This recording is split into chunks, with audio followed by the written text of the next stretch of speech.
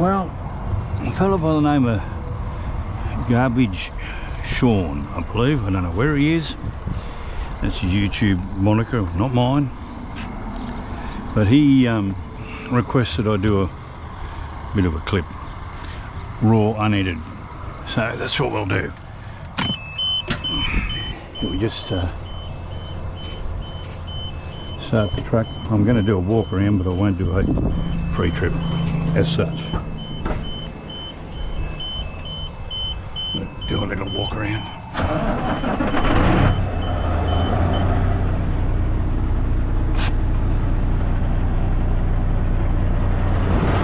So you're going to see quarter of a pre-trip. I'm just not going to drop the bonnet or the hood as the Yanks call it over.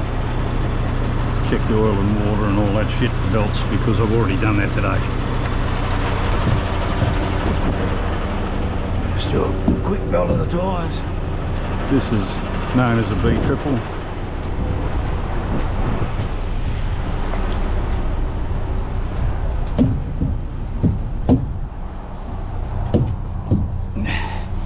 I really don't need to hit these simply because you can see. There's no big bulges.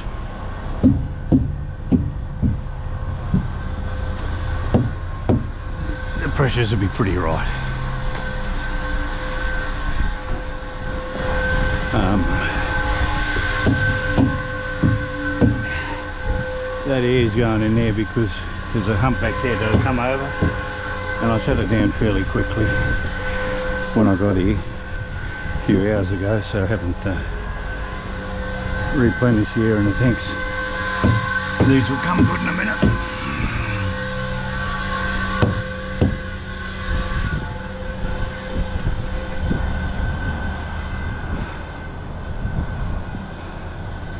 She's filthy. Been doing a lot of been a lot of rain, doing a bit of off-road work.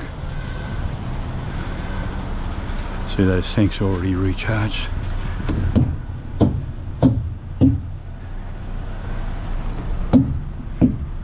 Hope I don't get one that goes thunk.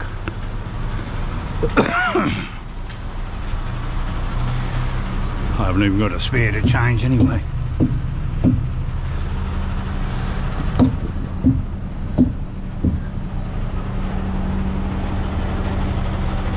I've got to give her a hose out tonight when I get unloaded. And I'll clean. Clean. Uh, good mate, self.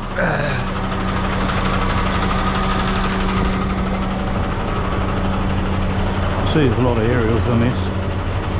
That's because my hobby is ham radio, amateur radio.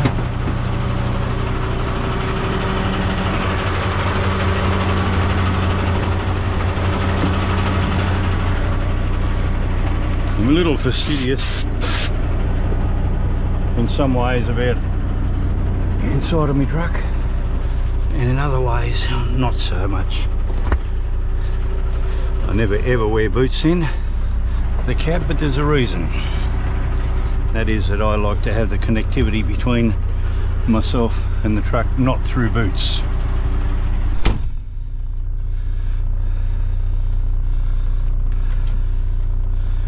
So,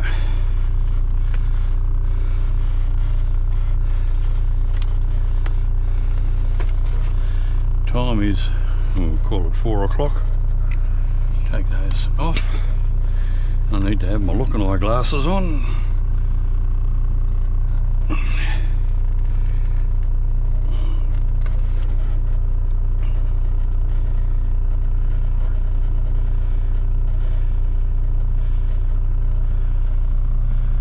Just confirming that is the speedo reading.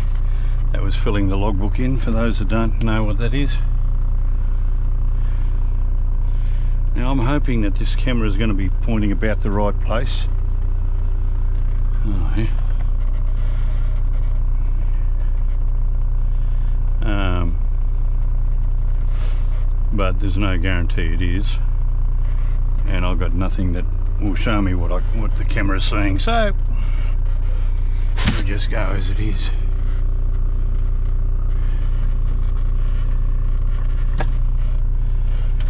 So this is for garbage Sean, I presume Sean's a garbage truck driver in uh, somewhere overseas, probably North America from some of the terms he used when he commented. So we'll put the window down. He requested to hear the engine. So I don't normally run with the window down, especially not in winter.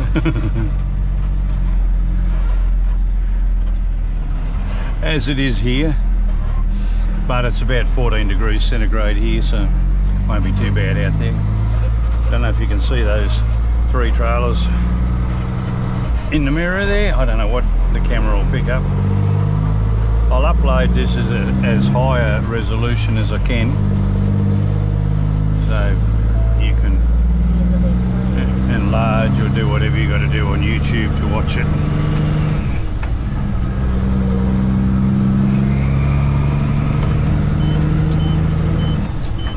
Got to go a little bit wide when you go around corners like this. Note I'm staying well over here.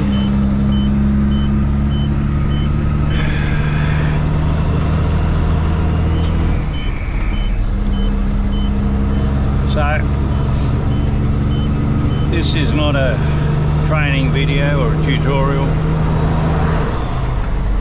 Um, I used to be a driver trainer many years ago, but you know, there's so much available on YouTube and other places. If you want to go and watch that, you probably can. But when I change gears, I change at around about 1600 revs. That's going up in the gears it's fairly flat country out here, so we'll probably not be doing too many gear changes down.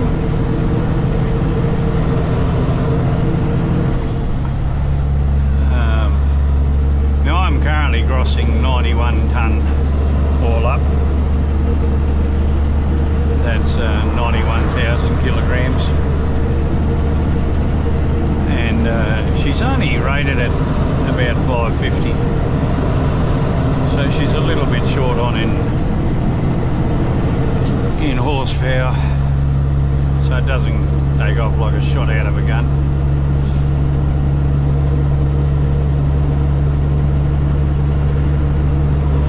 But it does all right it's uh, going to be uprated here shortly In the next uh, probably three or four weeks when we get time to get it into Cummins and get them put the laptop on or, and uh, remap the engine. But uh, for the moment, I've got 550. I think she's going to go to 620.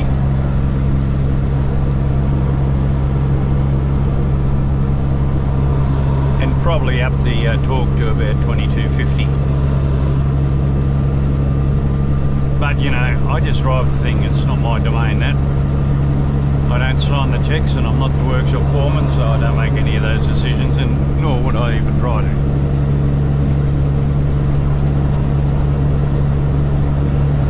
So we're doing about 85 or 86 at the moment. And I'll do a couple of things here that may surprise people. Remember we're left hand, we drive on the left hand side of the road. This is divided road.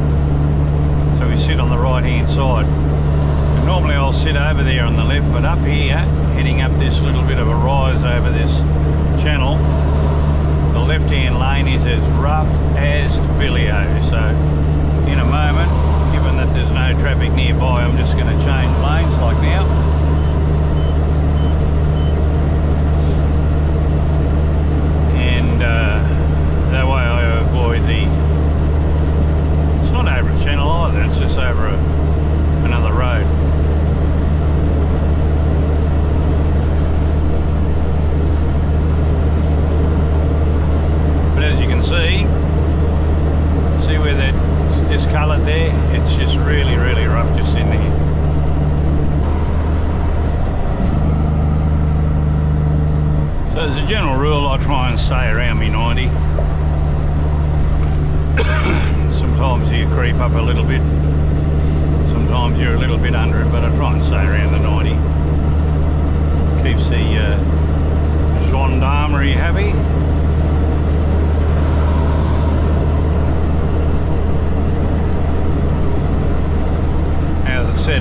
at uh, 13 degrees outside currently.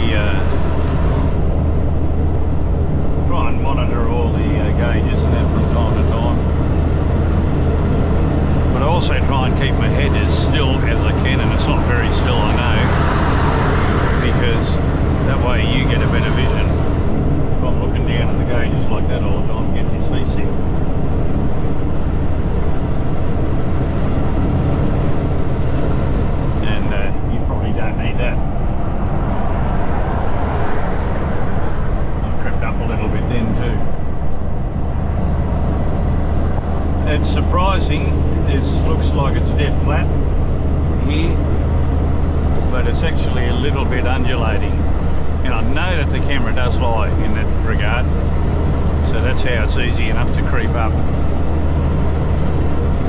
a little.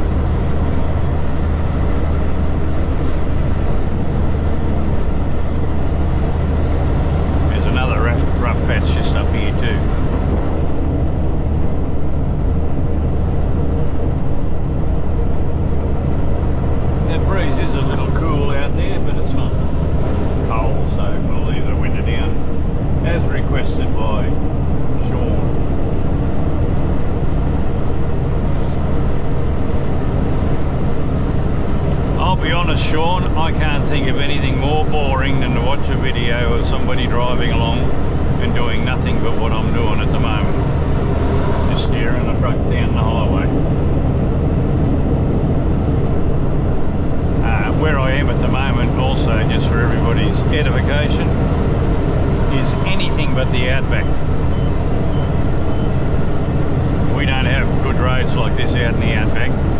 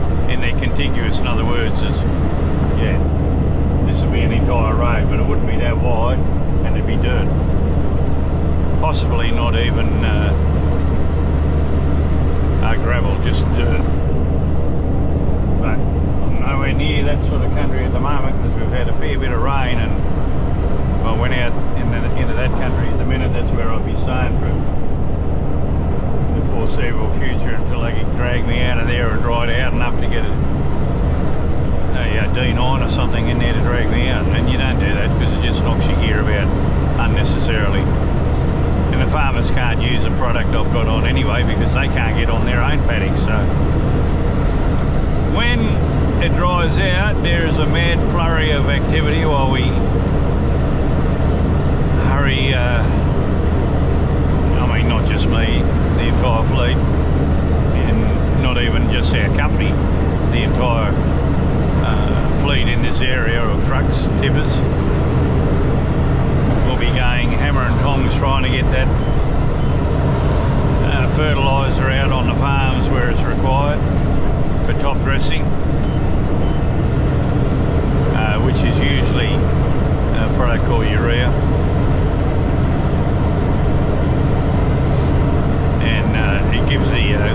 kick along.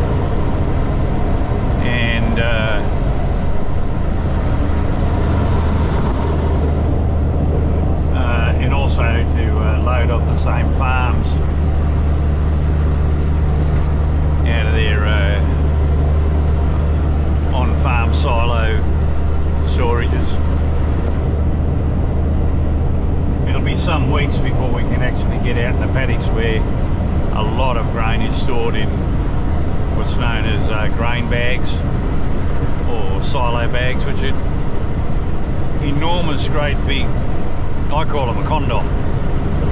They're like a huge condom full of grain.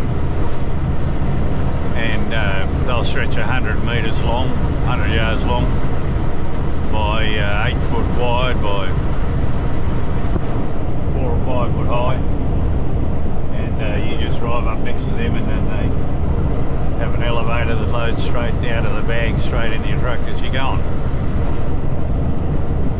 But we won't even be able to get near any of those for if it stopped raining today, which it probably won't because it's winter,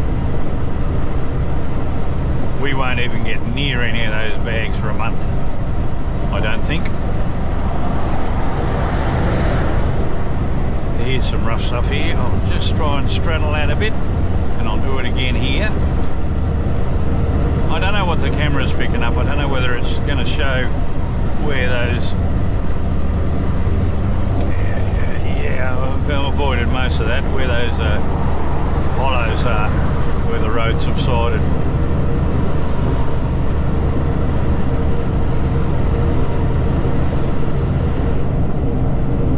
Now this up here,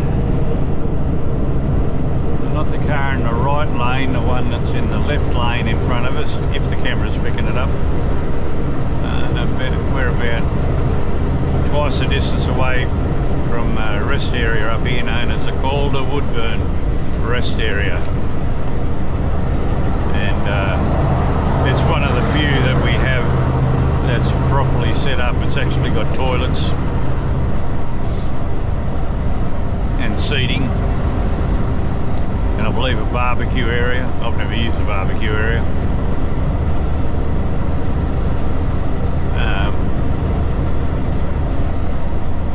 I used to carry uh, all cooking gear with me and a, and a little barbecue because it's probably more sanitary than uh, using one of those.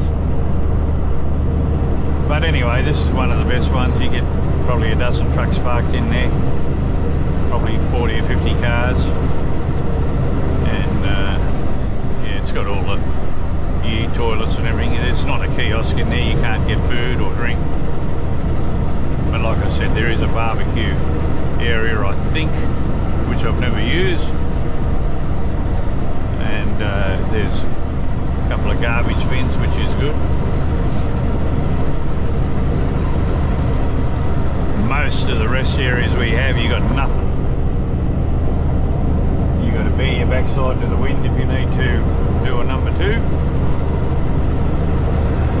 Uh, you have to, uh, you know seating, and not even a empty uh, 44 gallon drum or 200 litre drum to put your uh, garbage in, just nothing, just an area to get off the road. And that would be 99% of all rest areas in this country, let alone just around here. To be honest, it's pathetic.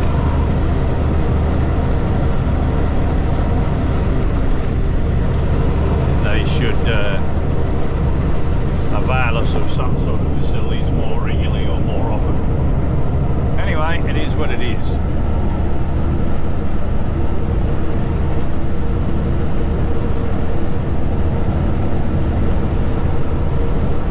I've got a garbage bag down there somewhere, but I'm not going to look around it, reach for it. I just got myself a drink out of the fridge.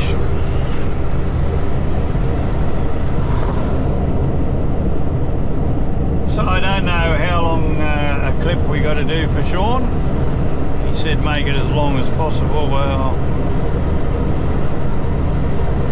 uh, you'll likely be bored out of his little brain and Although he did say that he wanted to, to play it in the background to put him to sleep, so it'll do that. My commentary probably won't help. Although it may help because I know uh, that I have a little inflection in my voice. And so it's probably boring as batshit listening to me as well. Anyway.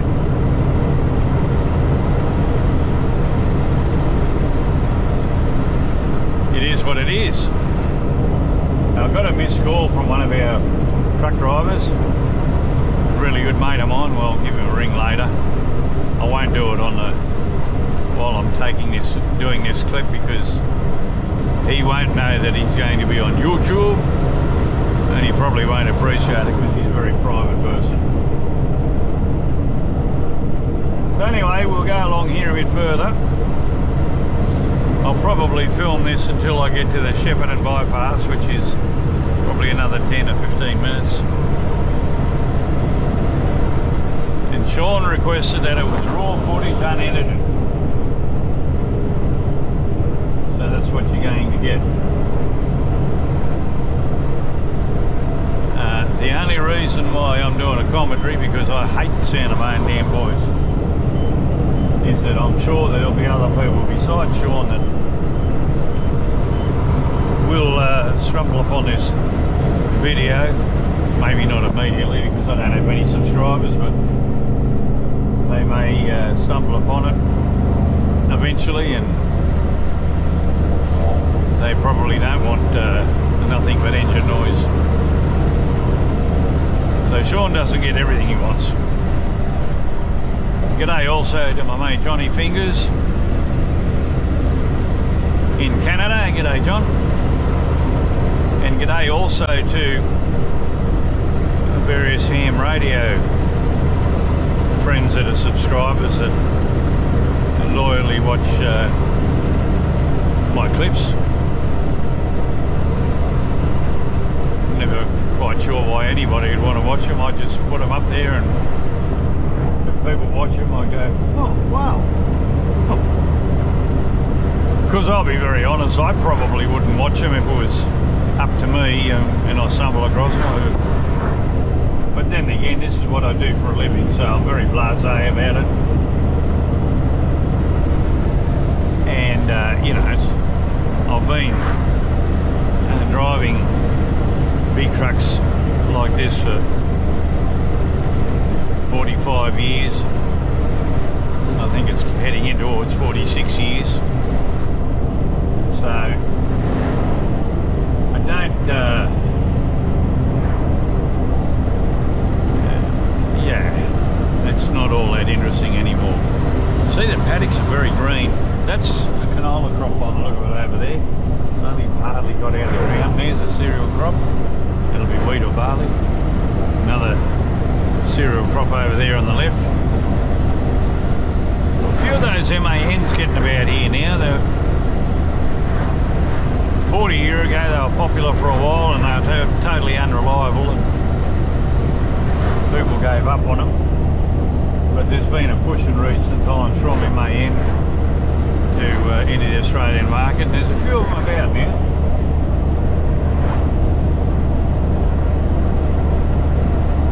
Um, I'm not sure if they're any more reliable than the old ones.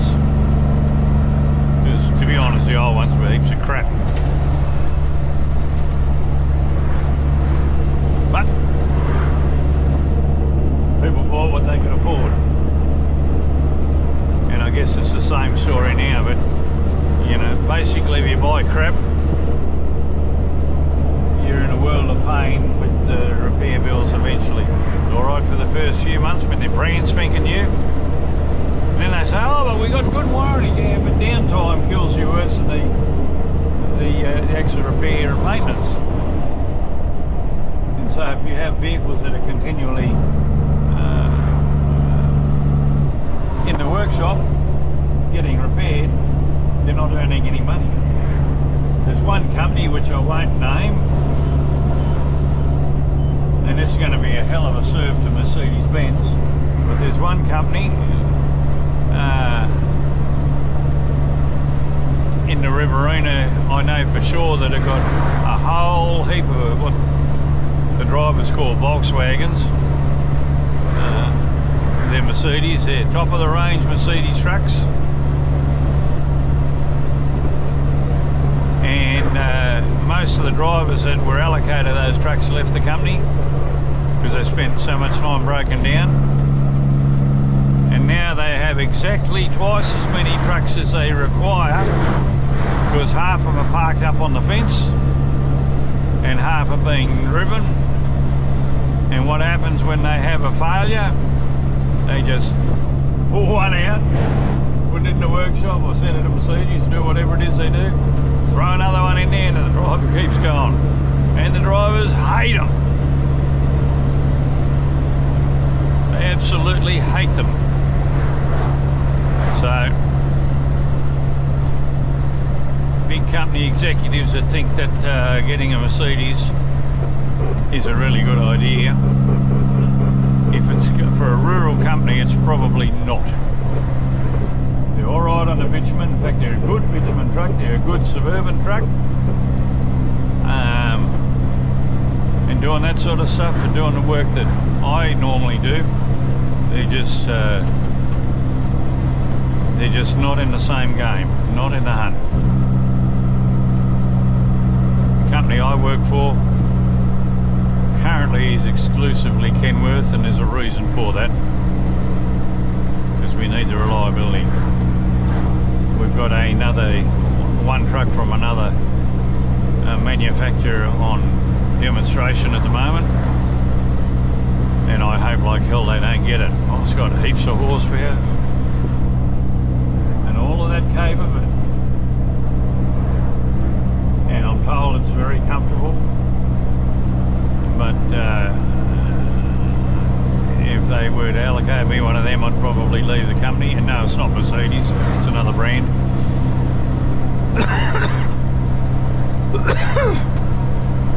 and I really enjoy this job. But I don't want to spend all of my time sitting on the side of the road waiting for someone to come out and fix it. Um, touch wood, I've never ever had a failure with this truck at all. it's got about 400,000 on it.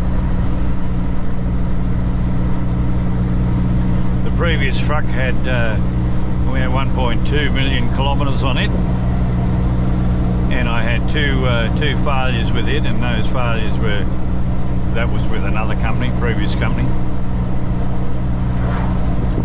Uh, and uh, that was their own stupid damn fault because I was I told them that there was an issue and they oh she'll be right mate. You won't need to do that. Ah, no she'll be right.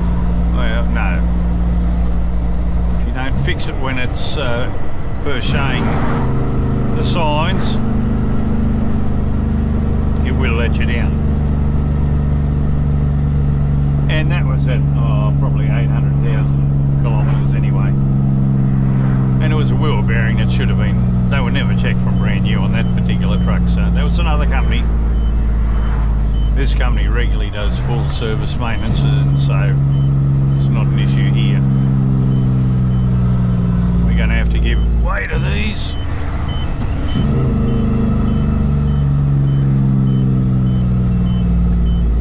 Because I have to turn really really really really really late for this corner basically. I hope he hasn't he's got the sense that he won't come forward because I need where he's thinking about going. No, good on him or her. In order to get around that corner. You'll see that back trailer just gets around there going as turning as late as I did and uh, going as wide as I did. Alrighty. So this is just going to be more of the same up here. So I, I think we'll just uh, we'll just uh, stop the clip here, assuming that it continued to film whilst I was walking down the back of the truck. I should have took the uh, the iPad with me and the app. So it lost Bluetooth connectivity. So. I don't know if it's reconnected to it or not. So I'll just turn it off on top of the camera I'll review the footage later and uh, it's not horrible. I'll upload it for uh, garbage Sean tonight, maybe, if I'm not too tired when I'm ready to go to bed. Uh, still got a lot of day to go. I've got uh, three and a quarter hours driving time to three and a half hours essentially. Driving time to my delivery point. And uh, then uh, I've got to unload so there's another couple hours so so there's five and a half hours. Then I'll probably have to wait to go in there so there's probably another half hour an hour um, so that'll be getting up towards midnight-ish by the time I do all of that then I've got to clean these bodies out wash them out and uh, and then I can uh, think about going to bed. So the uh, whether or not I'll be in a position to upload this tonight is a moot point. But if I am, if I can, I will. In any case, you'll see it whenever you see it, I guess. All right, that will do. It's Just basically more of the same from here. We just currently on the Shepparton bypass for those that might be interested in my location. And uh, this has a speed res restriction of 80 kilometres an hour around most of it, and a couple of spots down to 60 kilometres an hour. It's got a heap of roundabouts which are very poorly designed in my opinion. But hey, I'm not a construction engineer, so who do I, what do I know? Anyway, cheers for now.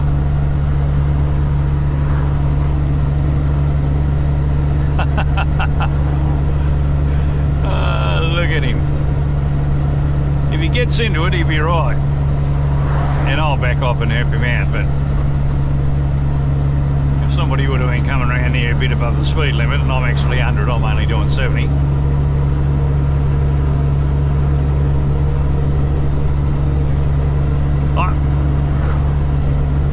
I don't know about you all, but I don't want to be in a car and mess with something that weighs 91 tonne. Simple as that, because you're going to come off second every time. anyway, he'd only had to wait. There's one truck behind me and nothing else, so he only had to wait for us to go past, you know?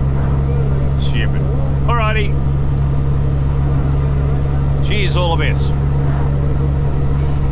I'll try and shut him down.